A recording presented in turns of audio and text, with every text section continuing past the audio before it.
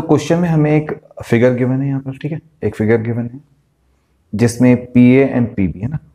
P A and P B P से लेकर के ए तक एंड पी से लेकर बी तक। ये दो टेंजेंट्स हैं, जो कि पी पॉइंट से बनाए गए हैं ना? सर्कल के एक्सटीरियर पर एक पॉइंट है पी इससे हमने दो टेंजेंट्स बनाए हैं P A and P B हाँ? एंड सेंटर तो सर्कल का ओ है ये यहाँ पर and L N touches the circle at M याद रखना है कि एक और यहाँ पर टेंजेंट है एल एन जो कि एम पर टच करता है सर्कल को, ठीक है? तो हमने प्रूव करना है कि जो P L plus L M होगा ना, वो P N plus M N के इक्वल होगा, ठीक है? तो सिंपल सा क्वेश्चन है।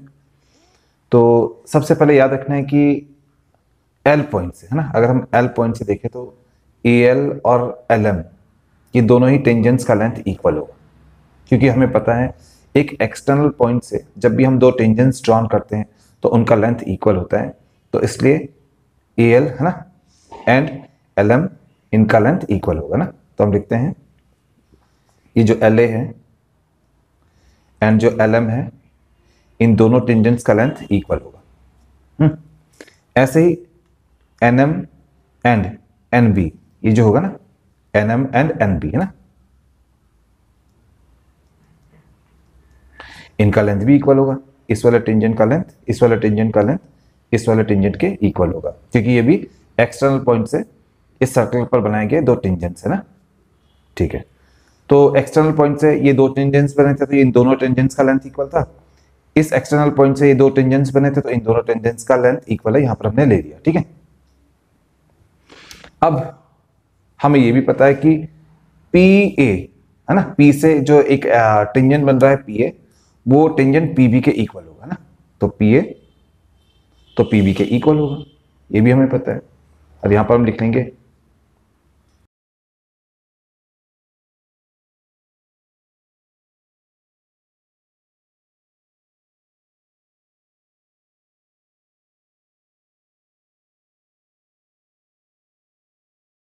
हमने लिख भी लिया कि अगर हम एक एक्सटर्नल पॉइंट से दो टेंजेंट्स ड्रॉन करते हैं ना?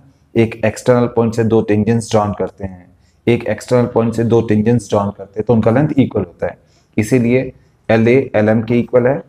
इसीलिए एन एम एन बी के इक्वल है। इसीलिए पी ए पी बी के इक्वल है। यहाँ पर हमने लिख लिया है, ठीक है? अब देखो भाई पी ए क्या है? पी ए को जरा देखो। हमने लिखा है कि पी ए जो है वो पी बी के इक्वल है। अब जरा पी ए को देखो। पी ए जो है वो P L plus L A है ना? पी ए कितना है? P L plus L A तो पी ए को हम लिख सकते हैं P L plus L A और जरा पी बी क्या है? पी बी जो है, वो P N plus N B है ना? P N plus N B तो पी बी को हम लिख सकते हैं P N plus N B अब देखो ये एल ए क्या है? जरा एल ए पे ध्यान दो। एल ए जो है वो एल एम के इक्वल है। तो यहाँ पर हम लिख सकते हैं कि पी एल प्लस यहाँ पर हो जाएगा हमारा एल एम है ना? क्योंकि हमें पता है कि जो एल ए है एल ए जो है वो एल एम के इक्वल है तो हमने एल ए की जगह पर लिख लिया एल एम ठीक है अब यहाँ पर है पी एन तो लिखेंगे पी एन फिर यहाँ पर है एन बी अब देखो एन बी किसके इक्वल है? एन बी एन एम के इक्वल है, है ना? या एम एन बोल लो या एन एम बोल लो एक ही बात है ना?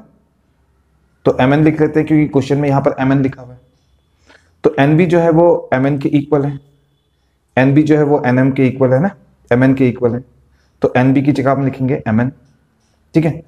तो आ गया हमारे पास में P L plus L M is equal to P N plus M N जो कि हमको प्रूव करने के लिए कहा गया था, है ना? तो प्रूव हो गया यहाँ पर ना हैंस प्रूव हमने प्रूव कर दिया P L plus L M P N plus M N के इक्वल है यहाँ पर हाँ? तो ये आ गया हमारे इस क्वेश्चन का फाइनल आंसर